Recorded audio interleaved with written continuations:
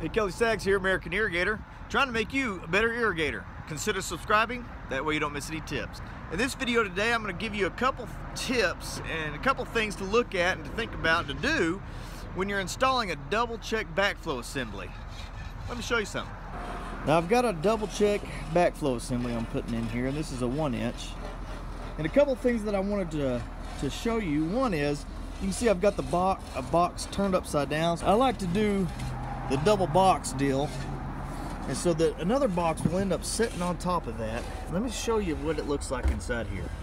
So there's no dirt that can get in around this double check when it's like this and, it, and it, when it's in the ground. And so this is a great way to do it. If you're not doing it like this, I suggest that you go ahead and do it. It's not that much more expensive. I mean, yes, it's two boxes, but it, it just looks, keeps everything clean. It looks better, it works better. It's just a really, really good way of doing it. But the other thing I had a, a guy ask me the other day, and we were kind of talking about it, and it was something that he and another guy were arguing about, is which way should you face uh, this double check? Well, and what I'm talking about is, well, you can see our arrows. The water is going all going this way. But what I'm talking about is, should you put the test cocks facing up, or is it okay, whoops, to face them sideways? Now I'll say this. Let's see if I can get that to sit right there. When I first started doing irrigation uh, and became licensed, I put them in like this, or I started to put them in like this.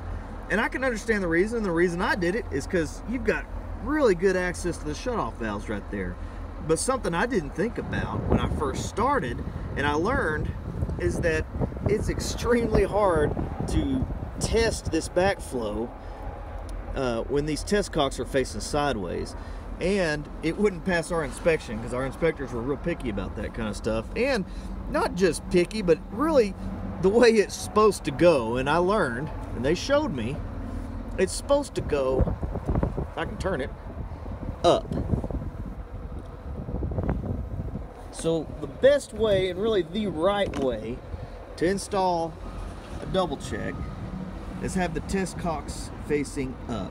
This is the right way to do it. And if you're not doing it like this, I really strongly suggest and recommend you start doing that. It makes it a whole lot easier to get back into this box. And I'll put this top on here. It makes it easier to get back in here and test this backflow. It's got to be tested. This commercial job. It's got to be tested every single year. So you want, when you're installing a double check, do the double box thing and then make sure these test cocks are facing up. It's the best way to do it and it's really the right way to do it.